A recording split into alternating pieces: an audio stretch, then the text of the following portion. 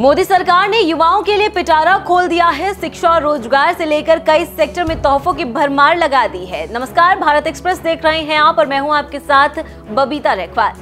Budget में निर्मला सीतारमण ने 2024 और 25 में हर साल पच्चीस हज़ार छात्रों की मदद के लिए मॉडल कौशल ऋण योजना में संशोधन का प्रस्ताव दिया है।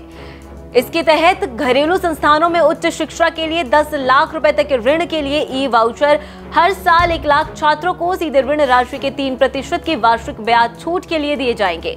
वित्त मंत्री निर्मला सीतारमण ने कहा, मुझे दो लाख करोड़ रुपए के केंद्रीय परिव्यय के साथ पाँच वर्षों में चार दशमलव एक करोड़ युवाओं के लिए रोज़गार कौशल और अन्य अवसरों की सुविधा के लिए पाँच योजनाओं और पहलों के प्रधानमंत्री पैकेज की घोषणा करते हुए खुशी हो रही है।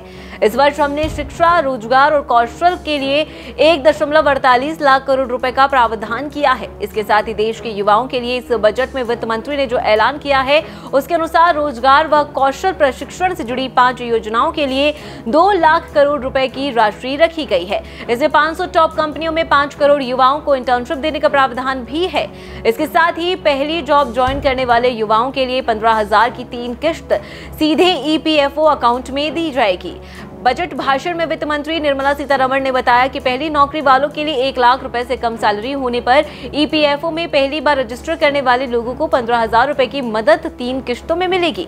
वहीं महिलाओं और लड़कियों को लाभ पहुँचाने वाली योजनाओं के लिए तीन लाख करोड़ रुपए की राशि का प्रस्ताव दिया गया है। साथ ही पूर्वोत्तर क्षेत्र में इंडिया पोस्ट पेमेंट बैंक की सौ से अधिक शाखाएँ स्थापित की जाएँगी। नमस्कार।